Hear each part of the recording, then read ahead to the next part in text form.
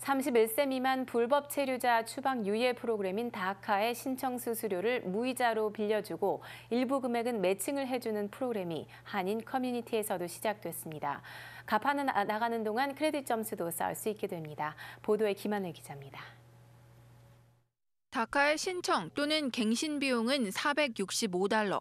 일부 가정에서는 한 번에 감당하기 힘든 액수입니다. 실제로 민족학교에 찾아온 추방유예 신청자 중 재정적 문제로 어려움을 겪는 사람들이 많았습니다.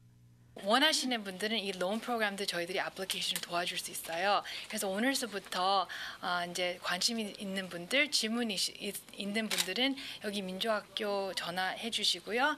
비영리 단체 Mission Asset이 민족학교와 손잡고 DACA 신청자들에게 무이자로 수수료를 빌려주는 Lending Circle 프로그램을 소개했습니다.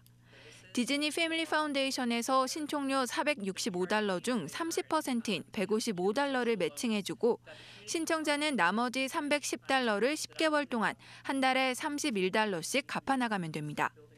payment를 하는 동안 신청자의 크레딧 점수도 올라갑니다.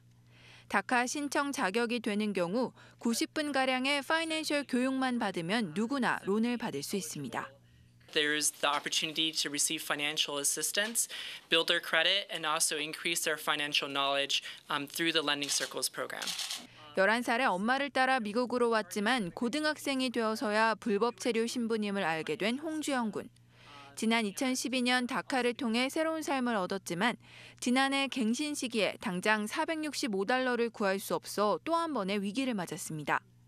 주영군은 Lending Circle을 통해 기간 내에 DACA 갱신 신청을 할 수 있었고 현재 높은 크레딧 점수까지 쌓아가고 있습니다.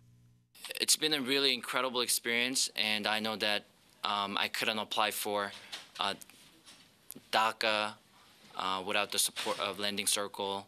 Lending Circle과 Disney Foundation은 올해 총 300명에게 matching과 무이자 lending 프로그램을 제공하며 한인 커뮤니티에는 70명분의 혜택이 배당됐습니다.